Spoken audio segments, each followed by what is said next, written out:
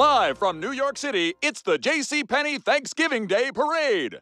The J.C. Penney Parade? Yeah, it's like the Macy's Parade, only without licensed characters. With the popular balloons we all know and love Mickey Rabbit, Sponge Cow, and Clifton, the small blue dog.